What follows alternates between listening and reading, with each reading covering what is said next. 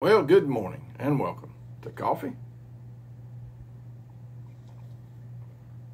and Devotion with Pastor Mike. Today is July the 26th, Senior Strength. As yet I am as strong this day as on the day that Moses sent me.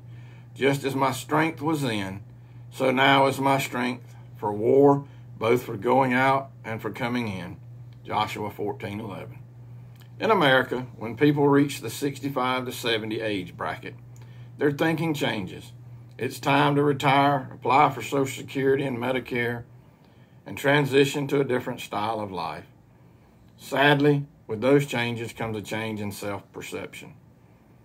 My productive years are over. My strength is waning. My best years are behind me. Who says? Certainly not Caleb.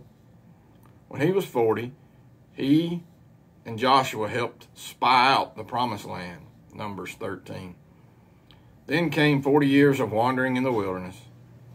By the time Canaan was divided among the tribes of Israel and Caleb received a portion of his inheritance, he was 85 years old.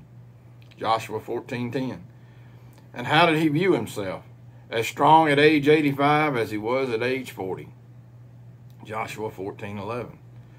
He was ready for war, that is, for whatever he might be called on to do. Retirement is not a biblical word. Change and transition, yes. But until the day of our homegoing, we must remain vigilant servants of the Lord. Peace and blessings.